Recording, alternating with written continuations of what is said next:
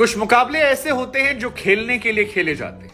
कुछ मुकाबले ऐसे होते हैं जो किसी लक्ष्य को भेदने के लिए खेले जाते हैं। कुछ मुकाबले जीतने के लिए खेले जाते हैं, लेकिन कुछ मुकाबले होते हैं जो प्रतिष्ठा वापस पाने के लिए खेले जाते हैं। राजस्थान रॉयल्स और पंजाब के बीच में जो मुकाबला है, वो प्रतिष्ठा को वापस पाने का है। वो प्रतिष्ठा जो राजस्थान रॉयल्स की टीम ने जयपुर में विराट कोहली की टीम के सामने गवा दी थी। ऑल आउट होकर जिस तरह से वो बाहर हुए, संजू सैमसन का वो बयान किसी को भूला नहीं, जिसमें उन्होंने कहा कि मुझे तो पता ही नहीं चला, ये हुआ क्यों? कैसे हुआ? क्यों हो गया? हम तो अच्छा खेल रहे थे। टॉप पर भी चल रहे थे। शुरुआत में आठ मैचेस में हमने पाँच मैचेस जीत लिए थे।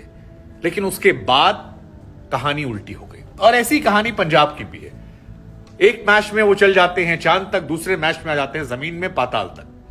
लेकिन इनके मैच को लेकर एक्साइटमेंट दो वजह से है। एक एक्साइटमेंट होगी आपको प्रतिष्ठा वापस पाने की, कि कौन सी टीम है जो टॉप फाइव में खत्म कर सकती है। और दूसरा होगा उस उम्मीद को लेकर, जिसमें राजस्थान रॉयल्स खासतौर पर यह प्रार्थना यह दुआ कर रही होगी, कि अगर विराट कोहली की आरसीबी गुजरात से हार जाती है, और रोहित शर्मा की मुंबई हैदराबाद से हार जाती है तो फिर नेट रन रेट बेहतर होने पर क्या राजस्थान रॉयल्स क्वालिफाई तो इसीलिए हमें लगा क्यों ना बात कर लेते हैं आज इन दोनों मैच को लेकर, एक एनालिसिस कर लेते हैं। आज तक जितने मुकाबले खेले गए हैं, राजस्थान और पंजाब के बीच में उनकी संख्या है 25 25 में से 11 मुकाबले ऐसे हैं जो पंजाब ने जीते हैं 14 मुकाबले ऐसे हैं जो राजस्थान ने जीते हैं। यानी राजस्थान का पलड़ा जो है वो थोड़ा भारी है। वैसे इस आईपीएल में भी राजस्थान का पलड़ा जो है वो थोड़ा भारी रहा है, क्योंकि नेट रन के मामले में वो पंजाब से काफ़ी ज़्यादा बेहतर है।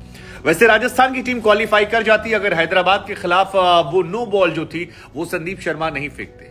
आखिरी बॉल पर विकेट गिर गया, आपको एक नो बॉल कितनी भारी पड़ती है, आपको उसका अंदाज़ा तब लगता है जब चीज़ें आपके हाथ से निकल जाती हैं। राजस्थान रॉयल्स टॉप फोर की प्रबल दावेदार थी, आज कहीं नज़र नहीं आ रही है। लेकिन आज इस प्रतिष्ठा के मुकाबले में वो उम्मीद करेंगे कि जब Jos Buttler, Shimron Hetmyer, Joe Root और ट्रेंडबोल्ट जैसे, और उनकी जो विदेशी खिलाड़ी हैं, वो उतरेंगे या फिर होल्डर को लाया जाएगा। तो वो खोई हुई प्रतिष्ठा एक जिद से वापस पाएँगे।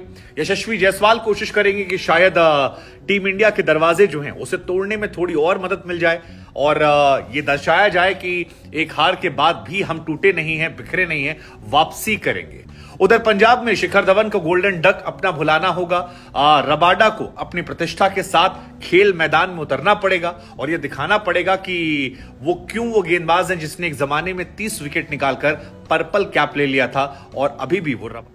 खैर पिच की बात कर लेते हैं। धर्मशाला की पिच जो है वहाँ पर तेज गेंदबाजों को काफ़ी स्विंग मिलती है। ऐसे में पंजाब में अर्शदीप और रवाडा एक्साइटेड होंगे। इधर ट्रेंड बोल्ट और कुलदीप तमाम जो गेंदबाज हैं वो भी एक्साइटेड होंगे संदीप शर्मा के साथ। लेकिन आ, पिछले मैच में दिल्ली और पंजाब में जिस तरह से बल्लेबाजी हुई थी 200 प्लस का स्कोर गया था दोनों टीमों से वो काफ़ी ज़्यादा दिलचस्प था। ऐसे में आज भी एक हाई स्कोरिंग मैच की संभावना है। अगर राजस्थान की बात की जाए तो टीम उनकी परफेक्ट है। पिछले मैच को हटा दें तो वो उतनी बुरी टीम नहीं नज़र आते हैं। यशस्वी जायसवाल ज़बरदस्त फॉर्म में है। इस वक्त आईपीएल में नंबर तीन पर है टॉप स्कोरर में शुभमन गिल से सिर्फ़ एक रन पीछे हैं और टीम इंडिया के दरवाजों पर ऑलमोस्ट दस्तक दे चुके हैं। जॉर्ज बटलर कहने की ज़रूरत नहीं है वर्ल्ड कप विनिंग कैप्टन है बहुत बड़े खिलाड़ी हैं शानदार प्लेयर हैं। दो वो हो जाते हैं। तीन नंबर पर संजू सैमसन भी चाहेंगे कि टीम इंडिया के दरवाजे उनके लिए भी खुले रहें। अगर करना है तो प्रतिष्ठा के साथ साथ व्यक्तिगत परफॉर्मेंस से फोकस करना पड़ेगा।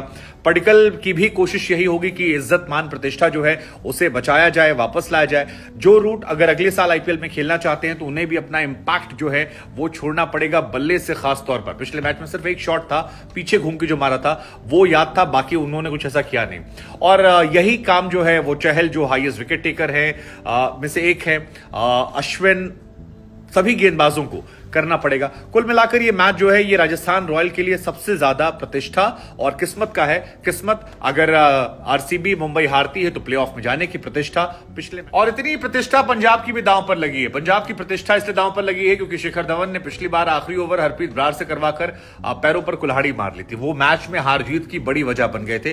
तो वो नहीं चाहेंगे कि इस बार रिपीट हो कप्तानी के तौर पर और एक प्लेयर के तौर पर भी, क्योंकि शिखर धवन के मन में भी कहीं ना कहीं होगा कि वनडे इंटरनेशनल में उन्हें मौका मिले। लेफ़्ट राइट कॉम्बिनेशन जो है वो हो। नए नए लड़के जो हैं यशस्वी जायसवाल जैसे उन्हें चैलेंज कर रहे हैं टीम इंडिया में पोजीशन के लिए। तो वो भी चाहेंगे कि यार हमारी जगह जो है वो भी बनी रहे और मामला बना रहे। प्रभ सिमरन टीम इंडिया के दरवाजे खटखटा रहे हैं। वो भी चाहेंगे क्या एक शतक मारा था। कुछ और अच्छा हो ताकि टीम इंडिया में मेरे बारे में कंसीडर हो तो ये मैच उनके लिहाज से भी खास है।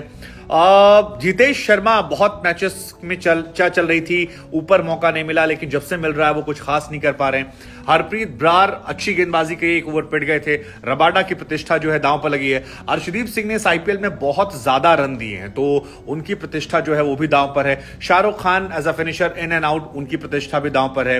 कुल मिलाकर इस पूरे मैच में, चाहे वो लियाम लिविंगस्टन हो, जो पिछले मैच के हीरो थे, कई सारे जीवनदान पाने के बाद, इन सबको यह साबित करना होगा कि एक टीम के तौर पर ये बिखरे नहीं है और हार जीत ये सीज़न में तो बहुत मुश्किल है कि आगे जाए, लेकिन जहाँ भी टूर्नामेंट खत्म हो, एक हाई नोट पे खत्म हो, ताकि अगले सीज़न को लेकर जो उम्मीद है फैंस की वो बरकरार रहे, वो जीवित रहे, और ये अच्छा कर सके।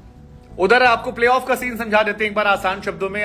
फ़िलहाल आरसीबी अगर अगला मैच जीत जाती है तो वो प्लेऑफ में क्वालिफाई कर जाएगी।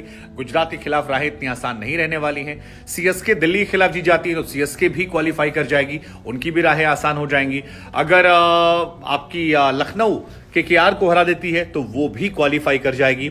या ये तीनों टीमें क्वालिफाई कर जाएँगी। लेकिन इसके बाद कहानी शुरू होती है इफ़ और बट की। अब इफ़ और बट की कहानी में पहली कहानी जो है, वो मुंबई की। अगर मुंबई बहुत बड़े अंतर से हैदराबाद को हराती है तो वो क्वालिफाई कर सकती है, अगर आरसीबी जीत भी जाए तो। लेकिन वो उतना बड़ा अंतर क्या होगा कि आरसीबी के नेट नेट को पीछा कर दे। दूसरा, मुंबई जीत जाए और आरसीबी हार जाए तो मुंबई अपने आप क्वालिफाई कर जाएगी। तीसरा, मुंबई भी हार जाए आरसीबी भी हार जाए। तो राजस्थान रॉयल्स अगर बंपर जीत दर्ज करती है तो फिर उसके भी चांसेस हैं कि वो क्वालिफाई कर जाए। लेकिन ये सारी कहानी इफ़ बट को लेकर है।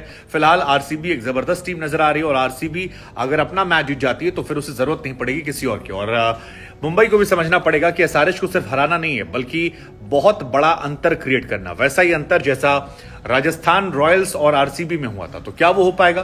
देखते हैं